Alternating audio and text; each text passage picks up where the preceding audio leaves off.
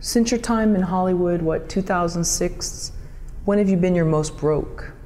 um, when I first got here. Um, I actually slept in my car one night when I first got here. Um, I stayed with my brother for a while, and his girlfriend at the time was tired of me being there, and so they were like, "You got to get out." And so I slept in my car one night or two, and then I ended up staying with another friend for a while. Um, in the beginning, yeah, I uh, I've always been decent with saving money. I've been lucky in that way. So it didn't take long for me to get a job waiting tables and start saving up and stuff. Um, but I've never been like fifty thousand dollars in credit card debt, um, except for making the movie. So I mean, that was probably our brokest point was after we made the movie. Probably that's the truth of it, because uh, we had forty thousand dollars of credit card debt, and at that point I had already saved up I saved up 15 grand to put into the movie. So I already put my all my savings into the movie, and we had 40 grand of credit card debt. So that was probably my brokest point is after we made the movie. Um, but you know, it, that, it was I never I never second guessed it once, and I was proud and happy to do it. So.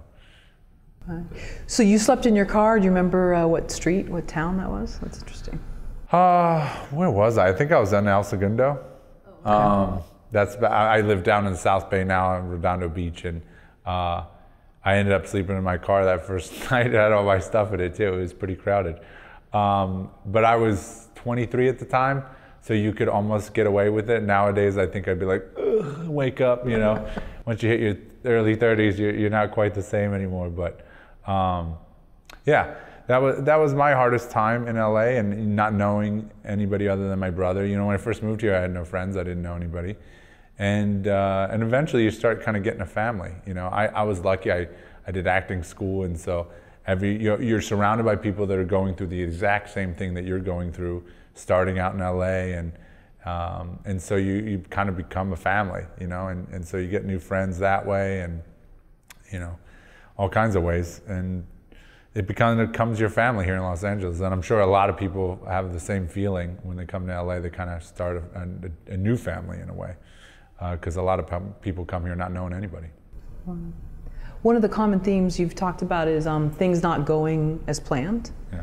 My sense is you like to plan, you like to be organized. Is that right? I very much do. I, I don't understand. Um, I was helping a friend recently plan a, a movie shoot, and uh, he has all these things handwritten on a paper. I'm like, all right, well, let's type it out on the computer, and get every single location and the address on on a on a page, and every single actor and you know, every location we're going to shoot what time of day. And it's like, why are we doing this? And I'm like, what do you mean, why are we doing this? Like, you have all the information in your brain, but you're going to have a crew of, you know, 15 people, maybe more, maybe less. But these people, they have to know what you're thinking, and you can't always be the one telling them. It's very easy to hand all this information so everybody already has it all. And when they forget it, they just look at the piece of paper you know, you have to save that time. So no, everything's about organization with the whole thing, and um, you have to organize to the last detail because when you get there on the day, it's not going to go how you planned, and there's always problems that arise. With Wally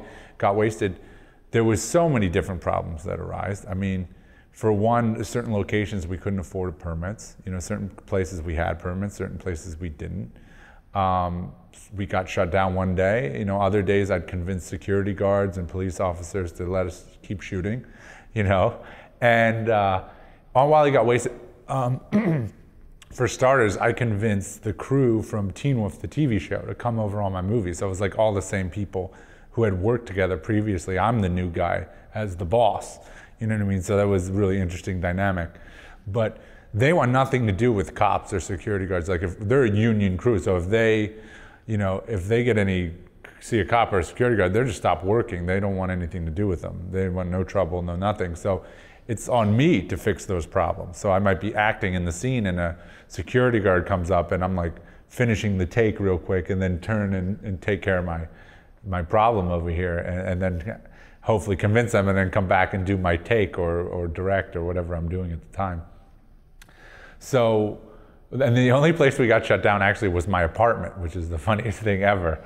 Um, there was one day we got shut down in my apartment, and uh, basically the the scene it's the iconic scene in the movie actually the first time they bring the body out in public and it's a slow motion scene and they're walking with the body and actually if you look at patrick who um, plays mitch in the movie he looks left in the slow motion scene and he's looking at a woman who's screaming at us going where's your permit i'm going to shut you down and that's why he's looking left but it's in slow motion you barely you know, you have no idea what he's looking at. He just glances left. That's who he's looking at. Some woman screaming at us, telling us, you know, where's your permit? And so I managed to get that take done. And then I went up to the woman and was like, hey, I'm so sorry. Did somebody bother you? Are we bothering you? How can I help you? She was like, I want to see your permit. And I was like, okay, well, um, I just sent somebody to go get the permit. So why don't we just, um, I'm going to shoot one more and then, and then, you know, and then i am sure somebody will be back to show you the permit. And she's like, I need to see it now. I'm calling the cops. And she has the phone right there. And I'm like, okay, I try my best, you know. So I, I was like, guys, we're shutting it down. Everybody wanted to kill her, you know. The crew, they just set up all these giant lights and everything, the cast. And uh, I was like, don't talk to her, don't bother her, because I fully know that we have to come back there three days later at that date and shoot with cops and fake guns and all these others. I can't have the cops be called now, or how the heck am I going to shoot here in three days? So I'm like, no one to speak to her, just leave her alone.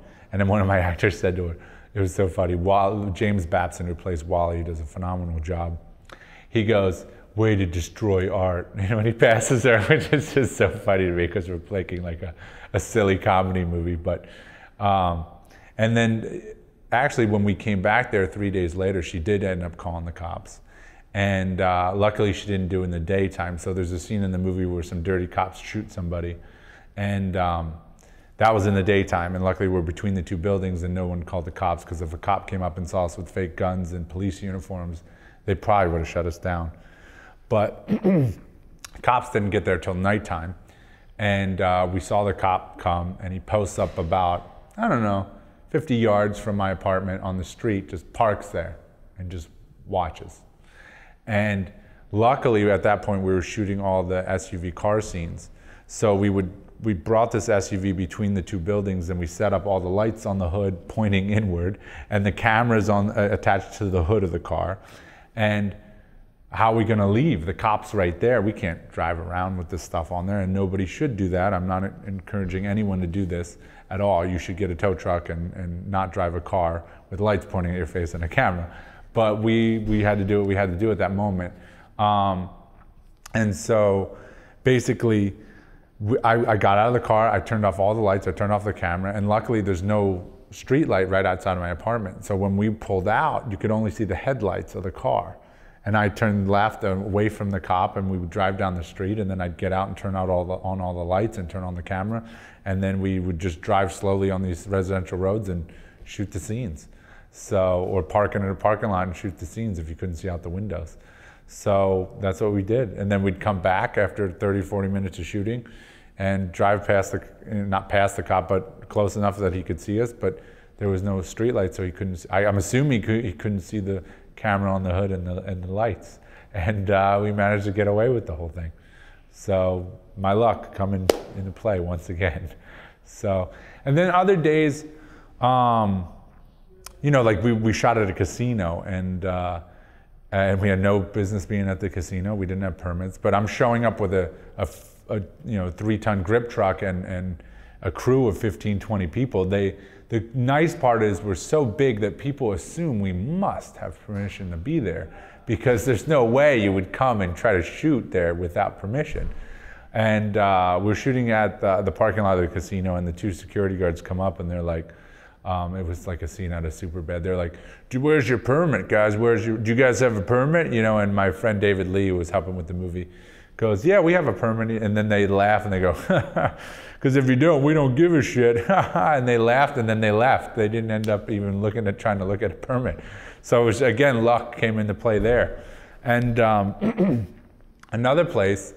Um, a security, the head of security came, and he came at the absolute wrong time. That, um, because we were running next to something, and it was slightly dangerous what we were doing, and it should have never been done in the first place. But I was looking at the footage, um, uh, focused on the camera, and the first AD was trying to get more footage, and she was she was like, "Yeah, Ron, run!" Ronald Quigley was in the movie, one of my actors, uh, who, uh, who plays a dirty cop. Run next to that moving object, you know, and he did, and it's not really safe to do that. And then the head of security comes up right as he's doing that. It's like the worst possible time he could come, and and he was like, "Whoa, whoa, what are you guys doing here? Like this is not safe.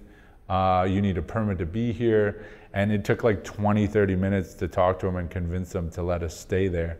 Um, and at the beginning, he was totally against it. But I was like, I saved up. This is my life savings. Like I saved up all my money, and this is I'm shooting a big YouTube video. Uh, because the moment you say a feature, they assume you have money.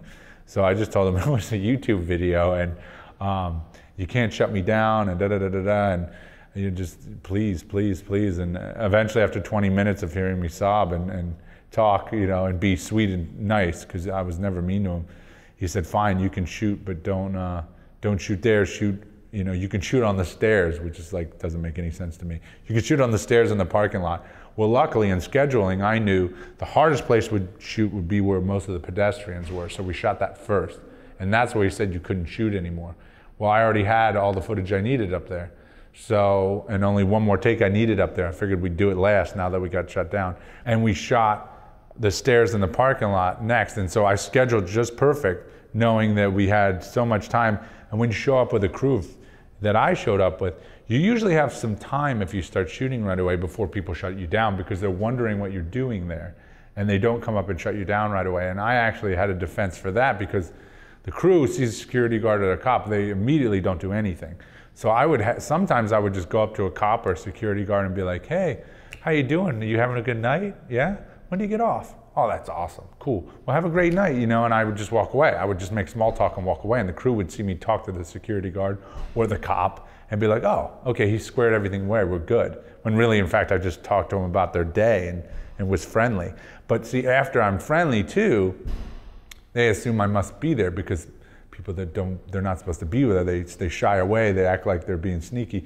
No, I just come up, completely confront you, be super nice, and walk away. So they'd be like, oh, do you know about this? They'd ask probably their so, other security guard, do you know this movie shooting here? Like, well, let's call the boss, you know, and like, and they'd call maybe their boss and they don't know, and then they call their boss. Well, meanwhile, I already had an hour and a half to shoot, so I got some footage, and so that's a lot of part of the scheduling is like you, you have to try to think of those kind of problems and, and solve them. So, um, yeah, that, that was, and sometimes cops would just be like, oh, we saw you shooting a movie. If I have a lot of uh, important equipment, we're just keeping an eye on you. And they would just watch us.